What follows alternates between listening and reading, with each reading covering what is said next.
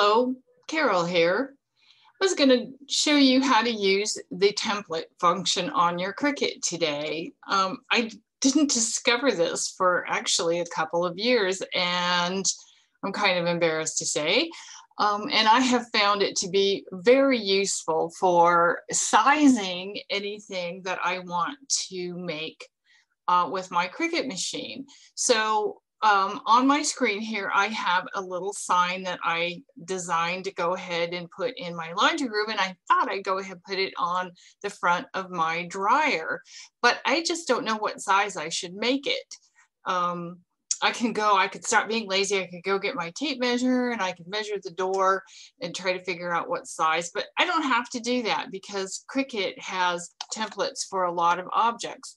So when you go ahead and click on the templates in your kind of upper left corner, you have a whole lot of different shapes and objects that you can choose from to use as a template for your design. And you do have a, you do have a search feature that divides them into certain categories, or you can do a search. There, there, I there's not a whole lot of them, so I'm quite happy to just kind of browse through and see what they have. And as you can see, there's my dryer. But as you scroll through, there's also a lot of other interesting items that you can use as a template. So I'm going to select the dryer and you get a little note that says templates are for reference only and will not be saved to your project. So just realize that this is not anything you're going to cut, draw, or anything. This is only here as a reference for you to decide what size you want to make your project. And you've probably noticed that your screen has significantly changed. And if you mouse over in your lower left corner, you can see it's been reduced down to about a 25% size. So here's my little laundry room size sign, which you can see just doesn't really look big enough. Now, on a lot of the templates, you do have an option for various sizes. And if you go up to your top bar, you can see I can do a type, which is a square or a round. Well, I don't have a dryer with the round door, so I'm gonna go back to the square. And also on this one, you have standard or custom size. Well, I'm gonna go ahead and leave it on the standard size.